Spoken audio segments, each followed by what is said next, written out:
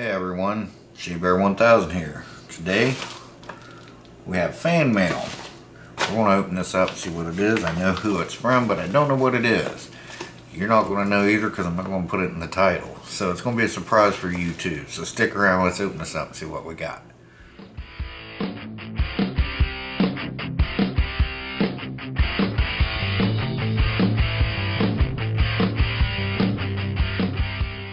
Okay, so this is from a gentleman. His channel name is Dennis Habecker, and I'm going to put a link to in the description to his channel. So, you, if you would, please go check him out and watch some of his, some of his videos. He had sent me a drill, a cordless drill here a while back. So, um, and I still use that regularly around the house. Monkeys used it, so it's still doing great. Um, so let's open this up. He said he was going to send me something, but he didn't tell me what. I said, cool. Uh, I sent him a tripod. He said he didn't have a tripod. So, you know, with money as tight as it is nowadays, I've got plenty. So I sent him a vintage one that I had that I used. I used it behind my uh, computer for like live streams and stuff. So I sent that to him and he really appreciated it. So let's see what we got here. I'm gonna this up. Alright, we have Hot Wheels. I have a couple Hot Wheels in the garage. Something on my lens. This is a 1940 Ford from Dearborn, Michigan. Uh, Ant. From the Ford Motor Company, slammed with fat tires in the back and smoothed out with no bumpers or headlights, or no bumpers or handles. This hot rod or favorite was made for cruising to the drive-in or showing off on the main drag which uh, when we would take handles off these cars because I before I was YouTubing in my younger days I built a lot of hot rods and stuff we would call uh, like taking the door handles off we would call them shaved. We would shave the door handles and we would put fringe tail lights in them and stuff like that so that's pretty cool. Thank you Dennis. I got uh, some bigger cast iron cars up on a shelf in my garage that um, I uh, I got them covered up so they don't get dusty. And uh, I call it my little um, my little car show. So this will go up there with those. I have a Bobby Labonte car too so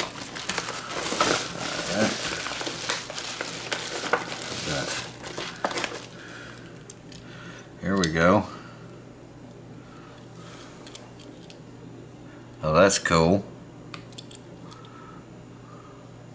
It's an old Chevy Nomad.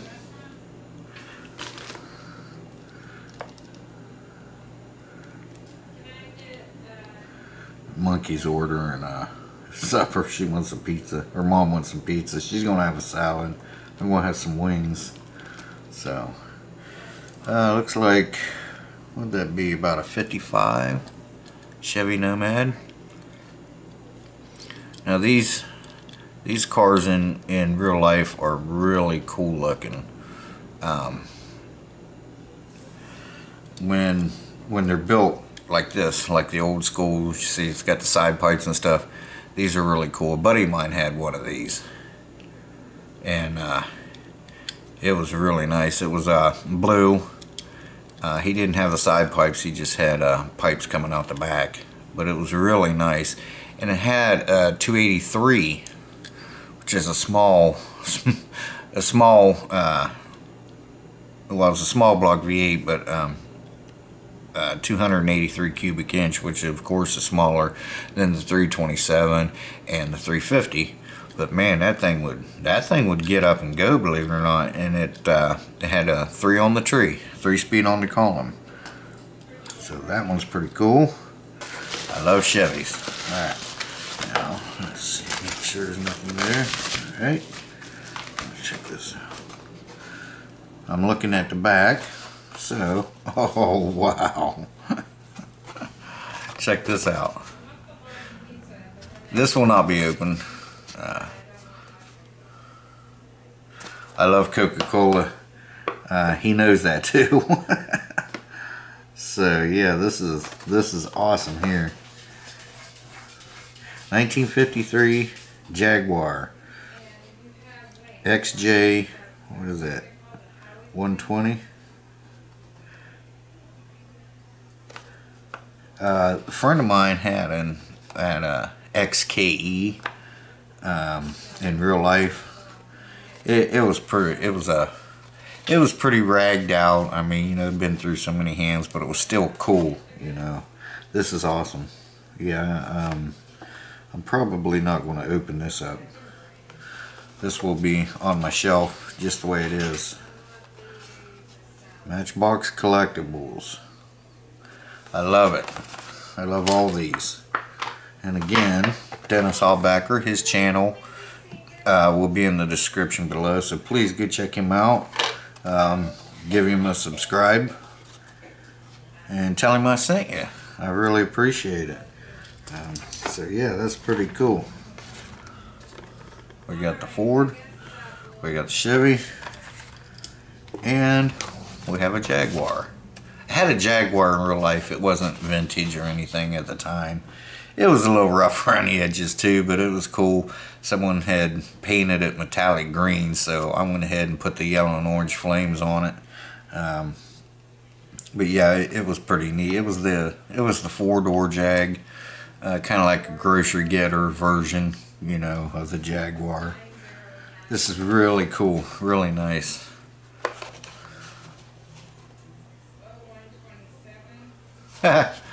I love it. Thank you very much. Thank you, Dennis. I really appreciate it. And hopefully you're getting some use out of the uh, out of the tripod. Like I said, it's a vintage one.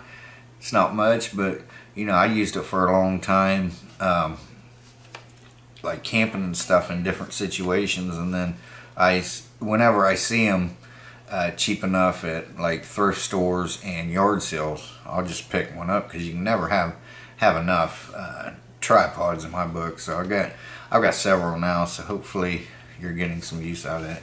And thank you for the gifts. I really appreciate it. Can't forget the Nomad here. Um, this one here. Okay, I was going to say the Nomads were two doors, but this one looks a little different.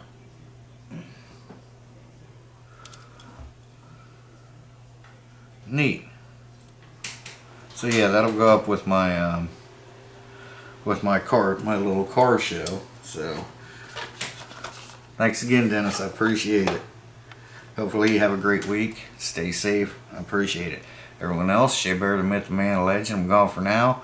We'll see you guys in the next one. Once I get my garage cleaned out and I start filming in there more, you guys will see these up in, in the uh, background of some of my videos, I'm sure.